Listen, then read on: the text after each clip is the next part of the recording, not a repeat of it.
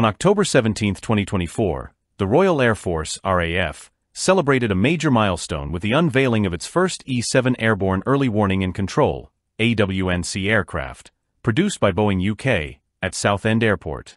This marked the first time the EAD-7 was painted in RAF livery. The aircraft, designated WT-001, carries the distinctive markings of 8 Squadron, which is slated to operate the Wedgetail. The squadron's emblem, a sheathed Arabian dagger known as a jambiyya, reflects its historical ties to Arabia, a connection that dates back to its role during World War II, symbolized by a badge approved by King George VI in 1943. In addition to the RAF's roundels, the aircraft also bears the emblem of NATO's Airborne Early Warning and Control Force, NAEW&CF, underscoring the UK's contribution to NATO's airborne surveillance mission.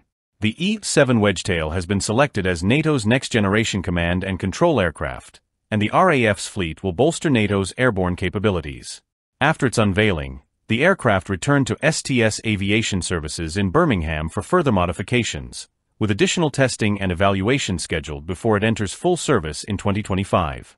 This aircraft is set to become the RAF's most advanced airborne surveillance platform, enhancing the UK's situational awareness.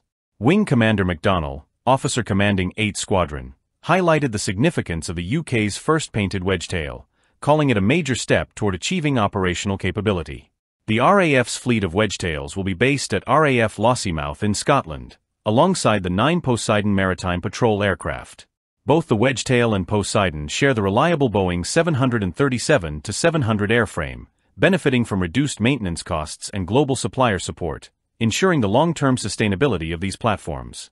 RAF Lossiemouth has undergone significant infrastructure upgrades to accommodate the Wedgetail fleet, including a maintenance facility constructed by McLaughlin and Harvey. This facility, which supports both the Wedgetail and Poseidon aircraft, was officially opened in September 2024 and is expected to provide support for at least 20 years. The project employed over 175 workers, with substantial contributions from five Scottish subcontractors. The UK's journey toward acquiring the E-7 Wedgetail began in October 2018, when the British government engaged in discussions with Boeing to replace its aging E-3D Sentry fleet. This move followed potential collaboration with Australia, which already operated the Wedgetail.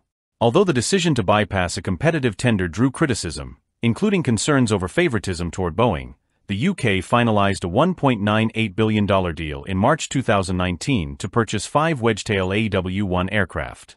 However, budget concerns surfaced in December 2020, when reports suggested the UK might reduce its Wedgetail order from five to three aircraft. This was confirmed in the 2021 Integrated Defense Review, raising fears that only one aircraft might be available for operational duties at any given time.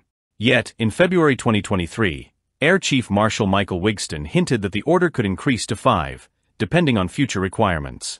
Initially, Marshall Aerospace was tasked with airframe modifications, but after its withdrawal in May 2020, Boeing contracted STS Aviation Group's UK division to complete the conversions. Specialists at STS Birmingham have been converting two commercial airliners, with new aircraft under construction.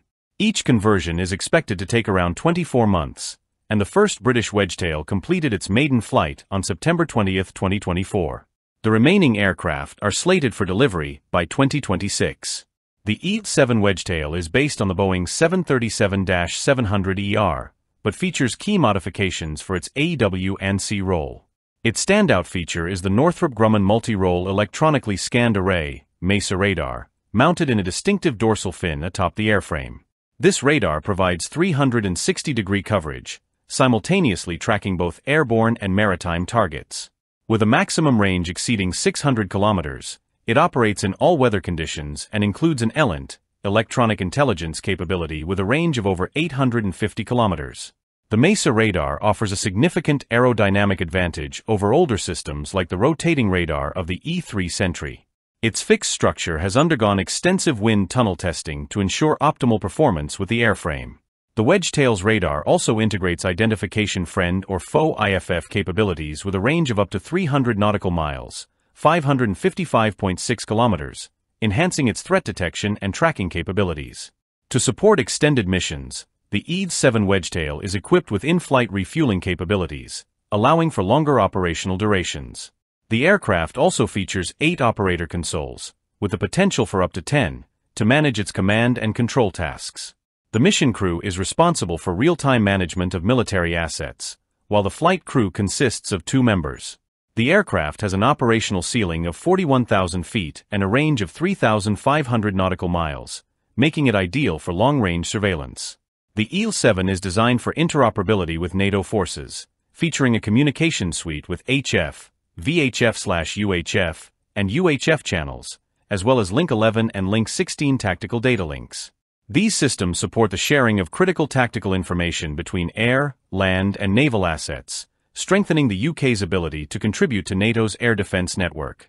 Already in service with Australia, South Korea, and Turkey, and selected by the United States and NATO, the E-7 Wedgetail will provide the UK with advanced AEW&C capabilities far exceeding what ground-based systems or fighter aircraft sensors can offer.